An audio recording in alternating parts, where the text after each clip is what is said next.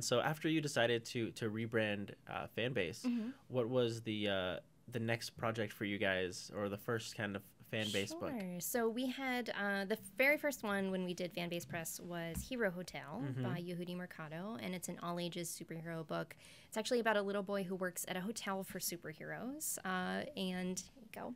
Um, uh, except superheroes when they're on vacation are total divas. So when supervillains show up, this little boy often has to save the day from the supervillains. So super cute story. Yehudi is super talented. He is and super talented. He is. And then we also have so there's the overarching story of Hero Hotel, but then interspersed throughout, we brought in guest creators like um, oh goodness, we have the Devastator crew who came in and did guest stories writing in, and we had so many different people. We had about 15 different creators do guest shots. So uh, Megan Levens is one of the artists, just really talented people. So super fun.